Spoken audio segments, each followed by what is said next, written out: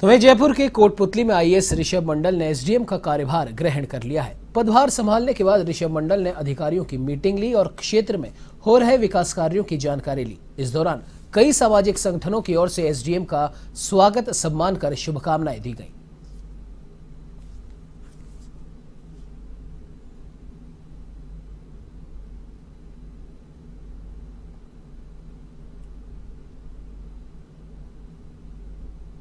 मैं बीटेक मैंने ग्रेजुएशन में बीटेक कर रखा है, उसके बाद मैंने एक दो साल करीब, दो साल तैयारी की थी, फिर सेकंड अटेम्प्ट में मेरा यूपीएससी में सिलेक्शन हुआ था, और मुझे राजस्थान जो काडर है वो अलॉट हुआ।